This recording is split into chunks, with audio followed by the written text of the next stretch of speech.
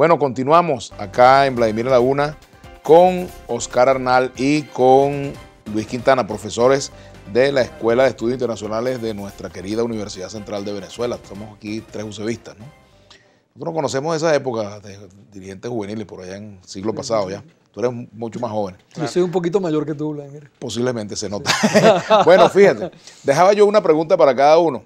¿Qué tiene de cierto, Luis, que el gobierno venezolano está tutelado desde La Habana, como dice la oposición? ¿Y qué tiene de cierto, Oscar Arnal, que la oposición es un títere de los Estados Unidos?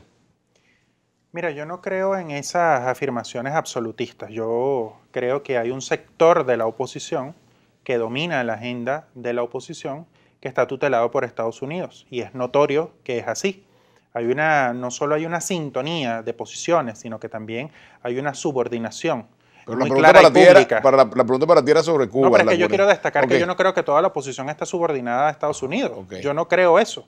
Eh, tu pregunta pareciera que, bueno, como este tiene unas posiciones chavistas, entonces vamos a hacerle, pero en realidad no creo. Yo creo en realidad que en la oposición es muy heterogénea y que hay una gente muy racional, como el profesor, que no cree en una intervención militar eh, extranjera y que además cree que debe, hacer una, debe darse una solución política. Yo creo que hay una parte de la oposición racional que apuesta por el desarrollo del país y que quiere la paz del país legítimamente y que no quiere que haya una intervención y que no quiere eh, que los destinos de, un sector del país sea dirigido desde, desde el exterior. Y tampoco creo, evidentemente, que el gobierno venezolano esté manejado por ningún gobierno del mundo. Yo creo que es un gobierno soberano, independiente, que tiene coincidencias estratégicas con algunos países y que tiene también diferencias con otros.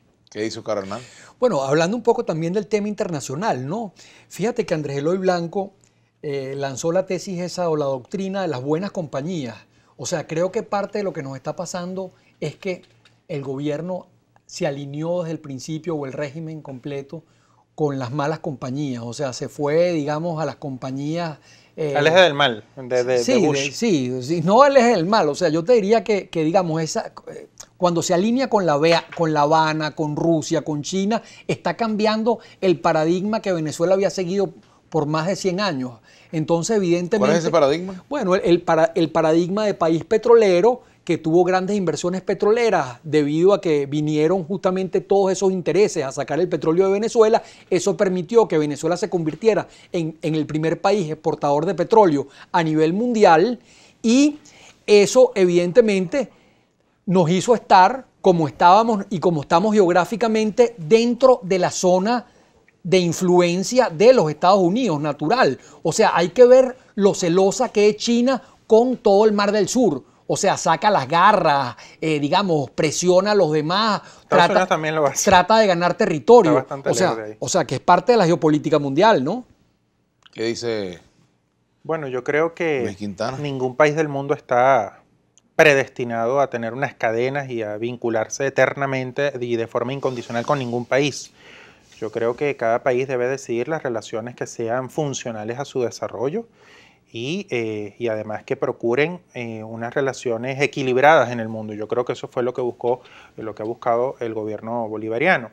En cualquier caso, eh, en Venezuela, insisto, hay una, una pugna geopolítica, no solo por el tema propiamente político, sino por los grandes recursos energéticos que tiene. Y siempre va a ser objeto de esas tensiones. No es la primera vez.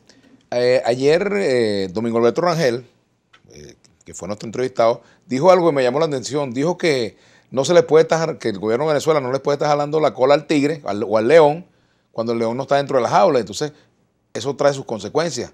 Le ha jalado la, la cola indebidamente el gobierno de Venezuela al león que está en el norte. Mire, yo creo que ha habido suficientes agresiones concretas de parte de Estados Unidos como para que Venezuela se plante con dignidad de reclamarlo. Yo creo que ha habido intentos numerosos en todos estos años de procurar una buena relación con Estados Unidos, independientemente de que reconocemos las grandes diferencias que existen entre los dos gobiernos pero eh, eso no ha sido posible, no ha sido posible entre otras cosas porque Estados Unidos no ha querido. Eh, yo creo, yo, yo confío, yo, yo creo que Venezuela tiene que tener una buena relación con Estados Unidos, tiene que seguirle vendiendo petróleo a Estados Unidos, pero Estados Unidos también tiene que respetar las autoridades que eh, hay en Venezuela y que decide el pueblo venezolano. Y creo que así debe hacer con todos los países del mundo. Es decir, ningún país, eh, por poderoso que sea, tiene ese derecho. A pesar de que, bueno, cuando entramos en consideraciones de carácter geopolítico, entonces ahí tendríamos que considerar otras cosas. Pero en cualquier caso, creo que Venezuela debe aspirar a tener buenas relaciones con sus vecinos, con todos sus vecinos, no solo con uno, sino con todos, incluyendo Estados Unidos. Luis, eh, Oscar. Sí, no, yo, yo, yo, o sea, yo creo lo contrario, o sea, yo creo que Venezuela desde el principio, o sea, con el actual régimen, empezó con una política muy beligerante contra los Estados Unidos, o sea, y de un lenguaje muy agresivo, o sea, que no se había visto nunca en Venezuela. Entonces, claro, eso evidentemente afectó mucho la relación. Eh, yo siempre digo que, que, cuando se encontraron Obama y el, y el presidente Chávez, eso se lo digo a mis alumnos, ¿no? Digo, bueno, señor Chávez eh, dijo en esa, en esa reunión de de, Mar del Plata, ¿no? Dijo que, que Estados Unidos estaba cambiando porque estaba ahora gobernado por un presidente negro. Y esa palabra negro en Estados Unidos es muy peyorativa. O sea, no es como nosotros que decimos, bueno, que te podemos decir a ti, Vladimir, que eres negro, por ejemplo, afectivamente, cariñosamente, que, que, que, no es, que no es el caso, pero que le decimos a los hermanos de nosotros negros y los abrazamos y los queremos. Bueno, es algo muy peyorativo. O sea, y, doy este ejemplo simplemente porque porque, porque todo ha sido en esa dirección, en esa, o sea, digamos, eh, el señor Maduro ha dicho que él mandó para allá a, a Delcy Rodríguez para ver si entablaran, si entablaban buenas relaciones. Pero eh, Delcy no es la más indicada para ir a Estados Unidos a tratar de entablar un proceso de, amistad con Estados Unidos, porque, porque se parece poco. O sea, tienes que, tienes, que, tienes que enviar a alguien que tenga afinidad con Estados Unidos, que, lo, que los hay. O sea, a, a, qué, chavita mandarías tú para Estados Unidos? Alfredo Toro Hardy, por ejemplo, lo hubiera mandado para Estados Unidos, que es una persona, digamos, eh, que tiene un, rango diplomático importante, o al propio señor Chatterton, o sea, pero no a Delcy Rodríguez. Que fue compañero tuyo en COPEI, por cierto. Bueno, continuamos. ¿Qué dices tú de lo que ha señalado Oscar Arnal? Bueno, yo creo que esa conducta con Estados yo creo que cualquier país del mundo tiene derecho a cuestionar, digamos, que un país, por ejemplo, vaya a la guerra e invada otro país, como fue el caso de Irak, que, tensó mucho las relaciones con Estados Unidos eh, sin fundamentos, acudiendo a mentiras y destrozando un país por petróleo. Yo creo que eh, Venezuela no se quedó además sola en ese momento, sino que hubo cuestionamientos de países eh, gobernados por presidentes conservadores como, como el presidente Chirac en ese momento.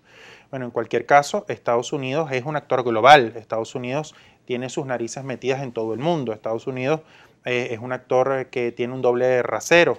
Eh, Estados Unidos es un país que agrede a países eh, por la sencilla razón de que tienen recursos naturales o porque sencillamente no les gusta un determinado gobierno, eh, que viola masivamente derechos humanos. Son todos motivos por los cuales cualquier gobierno del mundo lo puede cuestionar, más allá de lo que ocurre internamente en Estados Unidos, que creo que es algo que debe ser este, respetado. Tenemos que hacer la pausa. Javier Valderrama pregunta, y con eso regresamos. ¿Existe la posibilidad de que la ONU se pronuncie a favor de Juan Guaidó? para tus panelistas. Gracias. Hacemos la pausa y ya venimos.